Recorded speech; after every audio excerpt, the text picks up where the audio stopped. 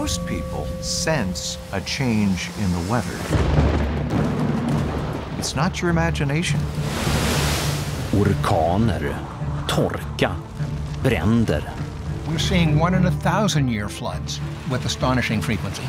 How many times does that have to happen before it's not a fluke, but it's a trend? Utvecklingen skrämmer. Our planet did not come with a manual of how it all works. Forskarnas försök att förstå klimatet är kanske vår tids mest avgörande forskningsprojekt. This is the essence of science.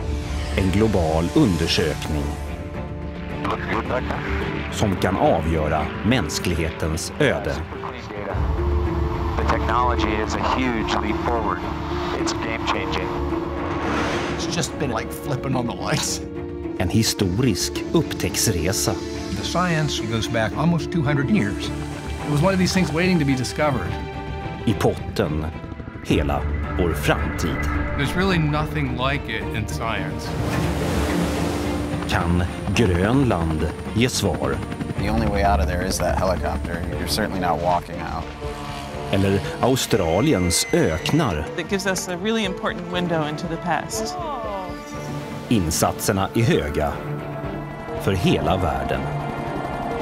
We're poking at the climate system with a long, sharp, carbon-tipped spear. And we cannot perfectly predict all of the consequences. Kan forskarna hjälpa världen ut ur klimatkrisen?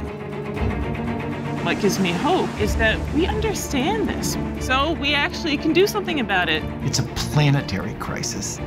But we're clever enough to think our way out of this.